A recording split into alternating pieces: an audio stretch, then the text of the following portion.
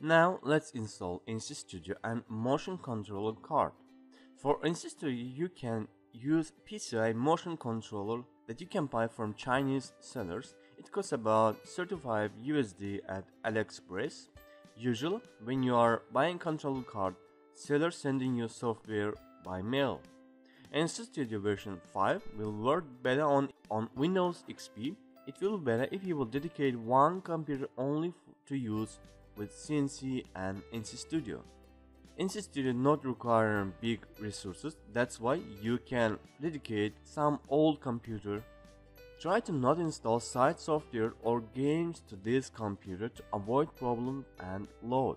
NC Studio not required any big computer resources, that's why you can dedicate your old PC for these purposes. First you need to install software to avoid problems with drivers. Installation process of software is very easy. Simply follow this step and install NC Studio. After your NC Studio installation process will finish, install control card.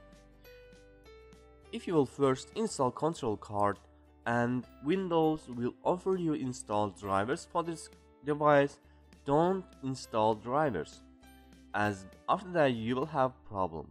That's why cancel installation First install NC Studio and only then card.